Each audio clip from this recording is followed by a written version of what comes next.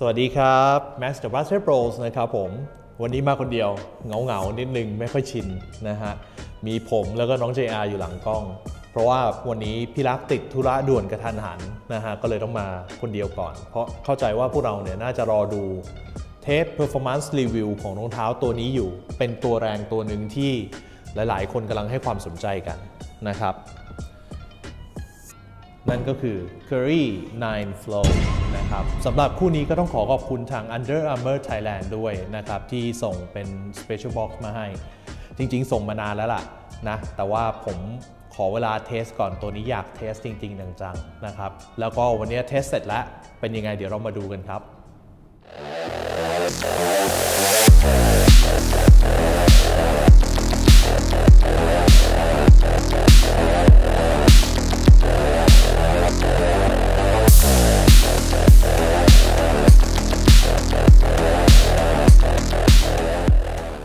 และนี่ก็คือกล่องพิเศษนะครับ ถ้าเกิดว่าใครได้ดูไลฟ์ Unboxing ของผมเนี่ยน่าจะได้เห็นไปแล้วว่าอันนี้เป็นกล่องที่ไม่ได้มีวางขายทั่วไปเนาะ ก็ในตัวกล่องเนี่ยมันก็จะมาพร้อมกับรองเท้านะฮะ Curry 9 Flow ก็เป็นตามสีเลยนะครับ ส่วนตัวสีเนี้ยมันชื่อสีว่า Taking Cookies นะครับ ซึ่งได้มาจากคาแรคเตอร์ Cookie Monster นะฮะ ตัวกล่องเนี่ยมันก็จะเปิดเผยแบบบางเรื่องให้เราเห็นเนาะอย่างเช่น ยกตัวอย่าง ตรงเนี้ยมันก็จะเป็นตัวสีที่มันเรียงกันลงมาเลยนะครับอย่างตัวสีข้างบนก็มาจากคาแรคเตอร์ชื่อ Big Bird นะฮะชื่อสีมันชื่อว่า Play Big นะครับซึ่งเดี๋ยวผมจะอธิบายรายละเอียดให้ฟังว่าแต่ละชื่อสีมันมีความหมายเหมือนกันนะครับแล้วก็ตรงนี้มาจากตัวเอ่อ Count สักอย่างผมจำไม่ได้แต่ว่าชื่อสีมันชื่อว่า Count It นะครับ แล้วก็อันล่างนี่ชื่อเอลเอ่อมาจากคาแรคเตอร์ชื่อเอลเอ้ยออสการ์เออออสการ์ยังไม่รู้ชื่อสีนะฮะ แล้วก็ตัวนี้มาจากตัว Cookie Monster นะฮะ ก็อย่างที่บอกชื่อสีว่า Taking Cookies นะครับ แล้วก็ตัวสุดท้ายเป็น Elmo นะฮะ ตัวนี้ผมอยากได้มาก Elmo มันเป็นสีแดงนะฮะ แต่ว่ายังไม่รู้ชื่อสีเหมือนกันนะครับ ชื่อสีเนี่ย อย่างเช่น Big Bird มันชื่อว่า Play Big แล้วก็ตัวสีของเอ่อ Count มันชื่อว่า Count It นะครับ แล้วก็ตัวชื่อสีของ Cookie Monster ชื่อว่า Taking Monster นะฮะสามชื่อเนี่ยมันมีความหมายในเชิงบาสทั้งหมดนะครับ อย่างเช่น Play Big อะ Play Big เนี่ยมันจะเป็นคำที่เหมือนแบบโค้ชมักจะสั่งผู้เล่นตัวเล็กเนาะว่าให้ Play Big ก็คือให้เล่นใหญ่อะ เหมือนว่าเล่นแข็งแรง ให้เล่นดุดันอะไรเงี้ยหลาย ๆ คนน่าจะแบบเคยได้ยินแหละว่าแบบโค้ชสั่งอะเล่นให้มันแข็งแรงหน่อยอะไรอย่างนี้นะครับ แล้วก็อีกความหมายหนึ่งก็อาจจะเป็นแบบเวลาที่เราเป็นร่างเล็กกว่าตัวประกบของเราตัวใหญ่กว่าอะไรเงี้ย play big ก็คือแบบให้เล่นเล่นตัวใหญ่ไปเลย ก็คือขึ้นทับไปเลยอะไรเงี้ยนะครับ อย่าไปกลัวกับ ชื่อสีถัดมาก็คือ count it นะฮะ count it เนี่ยคือเขาจะขานเวลาที่บอลลงบอลลงห่วงนะแล้วก็ตัวชื่อ taking cookies นะครับ taking cookies เนี่ยจริง ๆ มันเป็น slang เนาะ slang ของมันก็เหมือนว่า เวลาที่เราไป steal บอลได้ เขาจะบอกว่า taking cookies ก็คือเหมือนเราไปขโมยคุกกี้คนอื่นเขามาอะไรเงี้ย นะฮะมันก็มีชื่อความหมายของมันน่ารักน่ารัก แล้วเดี๋ยวถ้าเกิดผมรู้ชื่อสีของออสการ์กับเอลโมเดี๋ยวผมจะเอามาเล่าให้ฟังอีกนะฮะคราวนี้เรามาดูตัวรองเท้ากันนะครับข้างในกล่องนะ มันก็จะมีเป็นการ์ดมาให้นะครับ รายละเอียดเนี่ยเดี๋ยวลองไปดูในไลฟ์แล้วกัน ผมมีแปลความหมายเอาไว้ให้หมดทุกอย่างนะครับ แล้วก็อันนี้เป็นตัวรองเท้านะครับ ซึ่ง เอ่อคอลเลกชันที่มันเป็น collab กับ Sesame Street นะฮะ มันจะใช้ชื่อว่า Street Pack นะครับ มันจะมีความที่ไม่เหมือนกับตัวธรรมดาอยู่นะในหลาย ๆ จุด อะแล้วก็มีกระดาษฝอยกระดาษที่รองมานะครับฝอยกระดาษเนี่ยมันก็จะขึ้นอยู่กับสีของรองเท้าคู่นั้นๆนะฮะอย่างเช่นตัวที่มันเป็นของ Big Bird เนี่ยก็จะเป็นสีเหลืองนะครับ ขอเก็บกล่องก่อนนี่ กล่องสวยงามมากๆ แล้วมันมีความหมายซ่อนอยู่อีกเยอะเลยนะฮะ แต่เครียดบอกอะนี่คือตัวรองเท้านะฮะที่ผมอันนี้จะอยู่ในคอลเลกชันสะสมของผม แล้วก็คู่นี้เป็นคู่ที่ผมใส่เล่น สังเกตได้จากพื้นที่มันจะเน่าๆ เลอะๆหน่อยนะฮะตัวชื่อสีของตัวธรรมดาเนี่ย มันจะชื่อว่าอะไรนะ Warp the Game ตัวนี้เป็นตัว Day นะฮะ แล้วผมเข้าใจเดี๋ยวมันจะมีออกตัว Night มาด้วยนะครับ ใครสนใจก็สามารถหาซื้อได้แล้วนะ คู่นี้ แล้วก็ตัวนี้เป็นตัวพิเศษที่ผมบอกว่ามันจะไม่เหมือนกัน ก็คือตรงลิ้นรองเท้าเขาก็จะมีเอกลักษณ์ของแต่ละตัวคาแรคเตอร์ออกมา อย่างเช่นแบบ Cookie Monster ที่เขาจะเป็นแบบตัวขนปุยๆในกอกใช่ไหมออสการ์ก็จะเป็นลักษณะคล้ายๆ กันเป็นตัวขนปุยๆเหมือนกัน แต่ว่าถ้าเกิดว่าเป็นของตัว Big Bird ก็จะเป็นเหมือนลายเกล็ดนกหรืออะไรเนี่ยฮะนะประมาณนั้นนะครับแล้วก็แต่ละตัวเนี่ยเขาก็จะมีตรงป้ายแท็กตรงส้นเท้าเนี่ยที่เป็นดีไซน์สำหรับคาแรคเตอร์นั้นๆไม่เหมือนกัน แล้วก็จะมี insole ที่จะเป็นเขียนคำว่า Sesame Street นะฮะแล้วเป็น insole สีเขียวเป็นสกรีนในขณะที่ถ้าเกิดว่าเป็นตัวธรรมดาเนี่ย เขาก็จะเป็นแบบสัญลักษณ์ greater than เนาะแล้วก็มีตัวเลขขีดอยู่ข้างหน้า ก็คืออาจจะเป็นหมายถึงตัวเลขโรมันที่เป็นขีดอยู่ข้างหน้า x อยู่ข้างหลังก็คือตัวเลข 9 นั่นเองนะครับแล้วก็ตรงพื้นเนี่ยมันก็จะเป็นตัวลายลายปริ้นเนาะลายปริ้นเป็นสะพานเบย์บริดจ์นะครับซึ่ง ดีไซน์ต่างๆเนี่ยมันก็จะมีแบบเอกลักษณ์ซ่อนอยู่ อย่างเช่นมีเบย์บริดจ์ซ่อนอยู่ตรงระหว่างห่วงร้อยเชือกด้านบนอะไรเงี้ยนะครับเพราะว่าดีไซน์ของรองเท้าเนี่ยเขาได้แรงบันดาลใจมาจากเบย์บริดจ์แล้วก็ไอ้พวกระบบ suspension ต่างๆ ของตัวตัวสะพานตัวการกระจายแรงกระแทกอะไรเงี้ยนะฮะพวกสายๆที่เราเห็นมันก็เลยออกมาเป็นตัวรองเท้าคู่นี้นะฮะเอ่อ upper ของอันนี้ผม บอกก่อนว่าหลาย ๆ คนอาจจะคุ้นตากันว่าเขาถูกนำเอามาใช้กับรองเท้าวิ่งคู่หนึ่งนะครับ ก็คือ Flow Velocity Win นะฮะ ก็ตัวนี้ถูกเอามาใช้ในเทคโนโลยีที่ชื่อว่า UA Warp นะครับ มันจะบอกว่าไงดีอะ มันถูกดัดแปลงมาจากรองเท้าวิ่งคู่นั้น โดยการที่เสริมความแข็งแรง เสริมชั้น ให้มันมีความคงทน แข็งแรงมากขึ้นเหมาะกับกีฬาบาสเกตบอลนะฮะเพราะว่าอย่างที่เรารู้กันว่ากีฬาบาสเกตบอลเนี่ยมันเป็นกีฬาที่มีการเคลื่อนไหวในหลาย ๆ ทิศทาง แล้วก็ด้วยพลังที่มันแบบรุนแรง ดังนั้น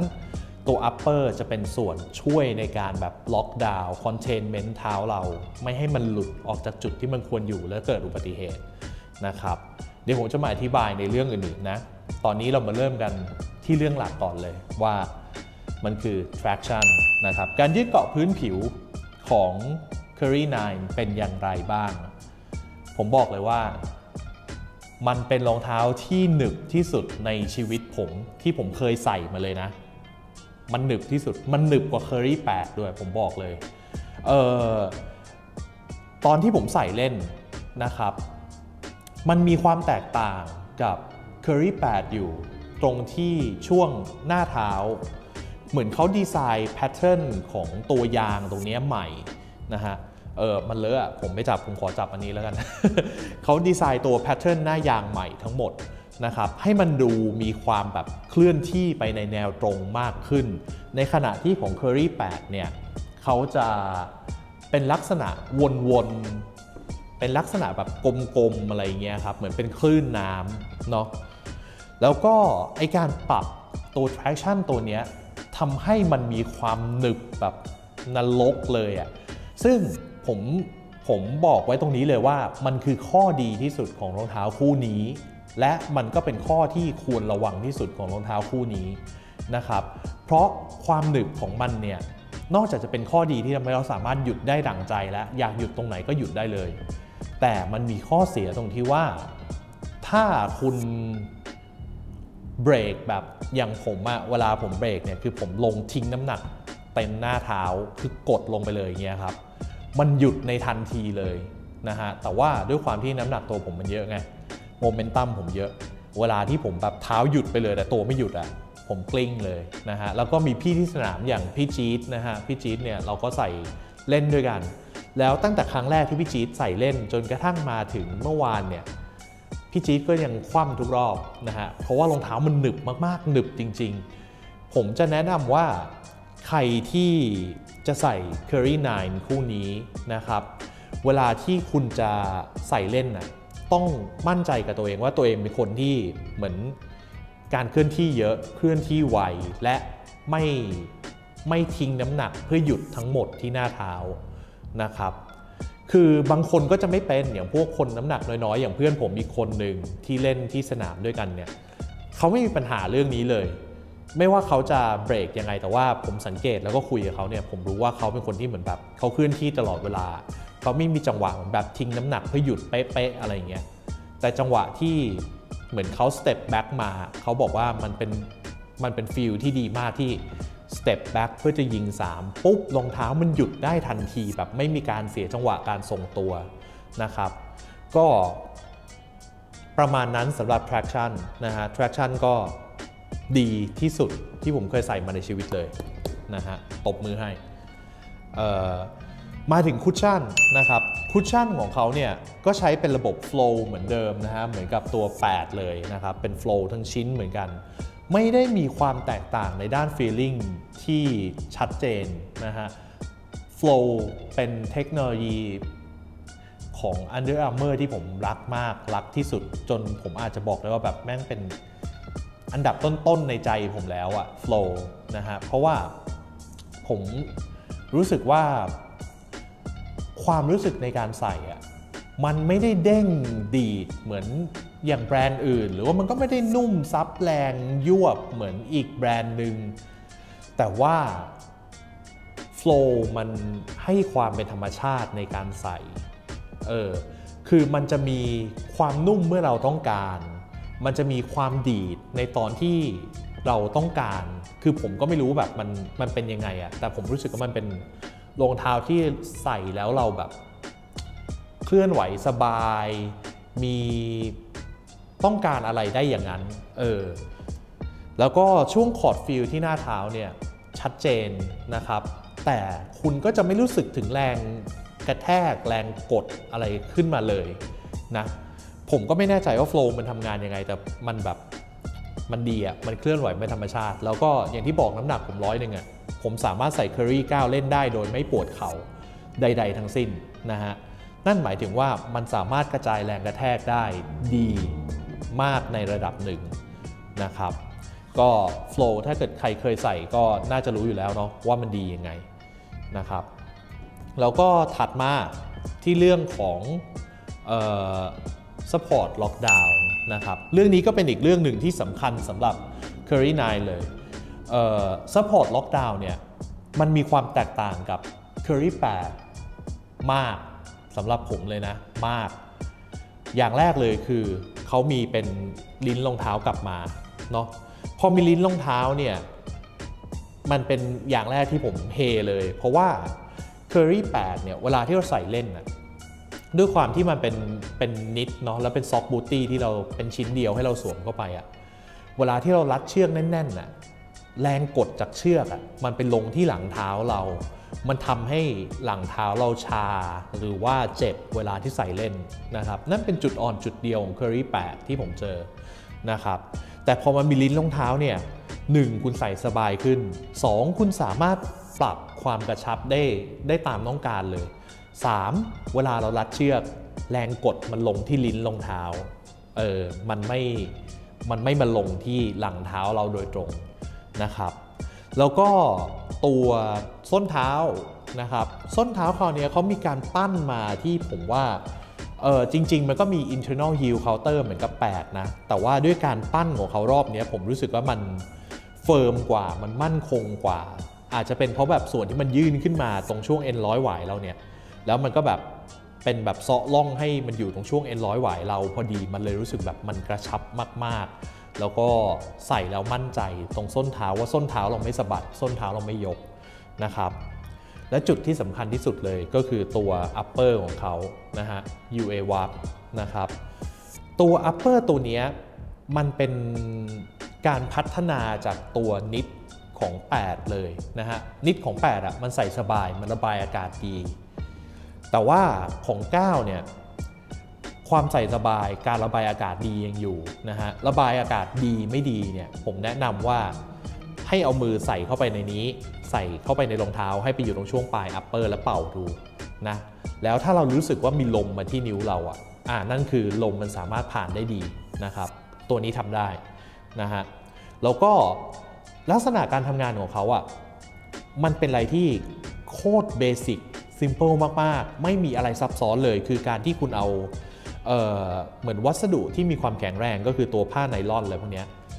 มาวางกันให้เป็นตะข่ายเนาะแล้วก็มีรอยเย็บตัดในแต่ละจุด ผมเข้าใจว่าเขาอะคำนวณมาแล้วว่า มันควรจะลงฟอสที่ตรงไหนนะครับเพื่อให้มันสามารถแบบคอนเทนเท้าเราให้อยู่ในจุดที่มันควรอยู่ได้ อัปเปอร์อย่างเงี้ยแต่มันเอาน้ำหนักของผมที่เป็นรอยอะอยู่ โดยที่ไม่มีปัญหาใด ๆ เลย แล้วก็ใส่สบายขยับคล่องมากๆนะครับเป็นเป็นเป็นทุกอย่างเรื่อง lockdown support ผมประทับใจมาก ๆ รวมถึงอะไอ้ตรงเนี้ยที่ผมอาจจะไม่ได้รู้สึกอะไรมากนะ ก็คือช่วง shank plate ที่ว่าเขาทำมาเป็นชิ้นใหญ่กว่าเดิม แล้วก็มีความหนามากกว่าเดิมถ้าเทียบกับแปดนะครับ เออก็ ก็รวมๆแล้วประทับใจนะมาถึงเรื่อง material นะครับ material ก็อย่างที่ผมบอกว่าเหมือนเขาใส่ใจในการดีไซน์ แล้วก็การเลือกวัสดุไม่ว่าจะแบบมาเป็นหนังนูปักที่ช่วงครึ่งหลังใช่ไหมฮะ ตรงด้านหน้าเนี่ยเขาก็ทำเป็นเหมือนแบบเป็นซินเทติกเป็นเป็น วัสดุสังเคราะห์นะไอ้ตรงช่วงห่วงร้อยเชือกทั้งหมดเนี่ยที่จะมาเชื่อมกับด้านหลังนะฮะมันดูหรูหรา มันดูพรีเมียมขึ้นนะครับ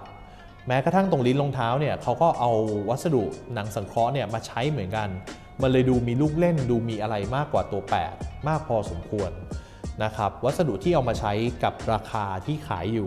5,790 บาทเนี่ยผมผมถือว่าคุ้มคุ้มเลย นะฮะรวมถึงดีไซน์ด้วยนะครับดีไซน์พูดถึงเรื่องดีไซน์หน่อยกันปกติไม่ค่อยพูด ผมรู้สึกว่าตัว Curry 9 Flow เนี่ยเป็นรองเท้าที่สามารถแบบใส่ในไลฟ์สไตล์ก็ได้นะครับใส่ Performance ก็ได้ Performance ผมไม่ได้จำกัดแค่การใส่เล่นบาสนะแต่ผมหมายถึงเรื่องการวิ่งด้วยนะครับเพราะว่ารองเท้าคู่นี้ผมรู้สึกว่ามันมีมัน มันเรียกว่าอะไรวะ มันเบลอเส้นระหว่าง ความเป็นรองเท้าวิ่ง กับความเป็นรองเท้าบาส เหมือนมันมันอยู่ตรงกลางของ2แคตตากรีนี้เหมือนมันเบลอเส้นนี้ทิ้งไปเว้ย เพราะว่ามันเป็นรองเท้าที่เป็นรองเท้าบาส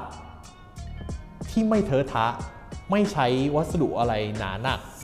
มาเพื่อเสริมประสิทธิภาพ เออคล้ายๆกับรองเท้าวิ่ง อะไรเงี้ยผมก็เลยรู้สึกว่าคู่นี้มันเป็นรองเท้าที่แบบคุณสามารถใส่ได้หลายแอคทิวิตี้มากๆ ใส่เที่ยว ใส่เล่นบาสใส่วิ่งทำได้ครบหมดเลยนะครับ ก็เป็นดีไซน์ที่สวยแล้วก็ทุกอย่างดีอะผมไม่รู้ผมจะพูดยังไงดี ทุกคนน่าจะรู้อยู่แล้วนะว่าถ้าเกิดผมชมขนาดนี้ผมขอฟันธงเลยว่า Curry 9 Fall จะเป็น ท็อป 5 ปี 2022ของผม ตั้งแต่ต้นปีเลยมีควันตรงมาแล้วคู่หนึ่งนะครับอะมาเรามาว่าถึงเรื่องฟิตกันนะครับฟิตเนี่ยผมรู้สึกว่าใส่ไซส์เดียวกับตัว 8 ได้นะครับ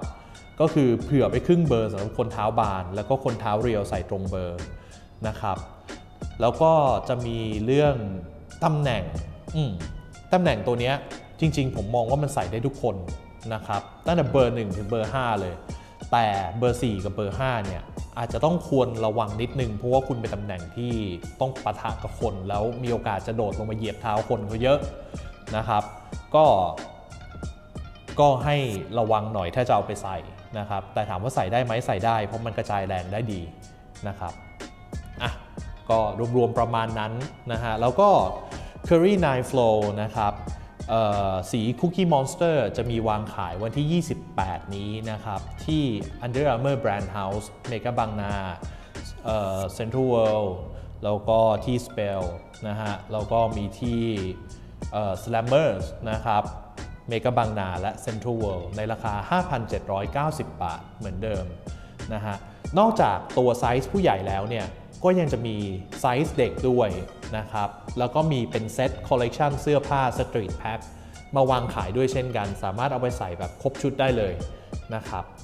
อะก็ประมาณนี้นะฮะ แล้วเดี๋ยวเจอกันใหม่เทปหน้าไปละ